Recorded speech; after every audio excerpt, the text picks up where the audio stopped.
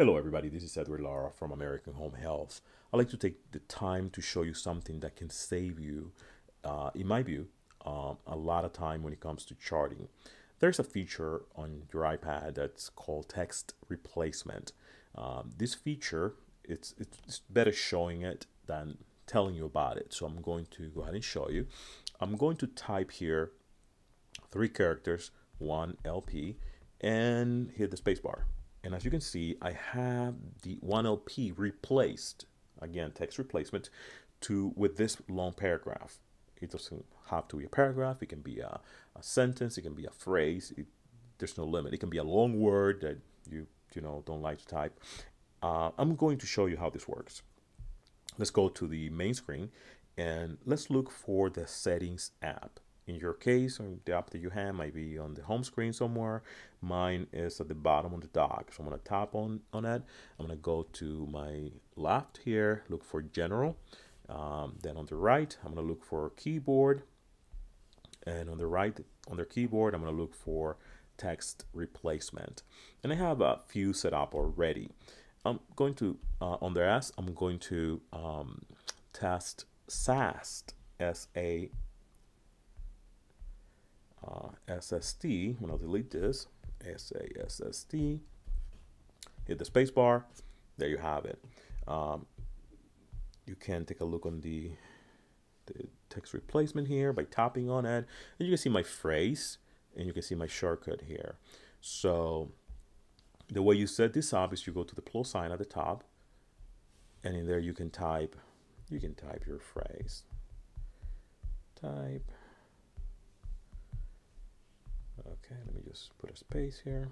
Type any phrase.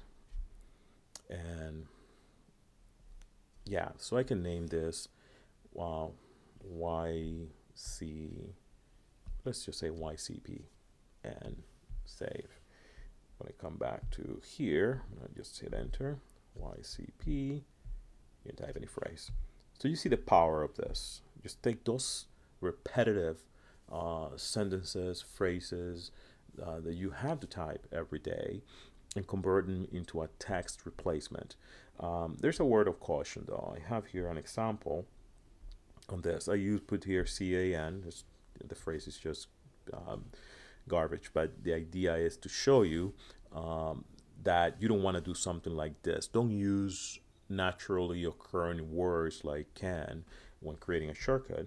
Uh, the reason for that is if I say, I can do this, oh, all of a sudden it replaced it because I created a text replacement replacement with the word CAN, and that can become pretty annoying uh, quick, which is why uh, I created a video on how to turn off autocorrection because autocorrection is the system trying to do this for you automatically, just correcting the word. Text replacement is totally under your control. It's, it's different. So you're the one determining what's going to be replaced. So you don't want to do something like this. Maybe you do uh, CN because it's not a naturally occurring combination. And um, so, so just keep that in mind. And you can create things like, um, let's see, on, on there are uh, receive endorsement from, uh, or, or report given to or report taken from, whatever uh, format you use. And, you know, it will be nice that all the nurses in the case, in a particular case, agree to phrases. That way you create one shortcut. If you create multiple shortcuts for similar phrases, there's no harm um, at all. And but it'll be nice if it's standardized.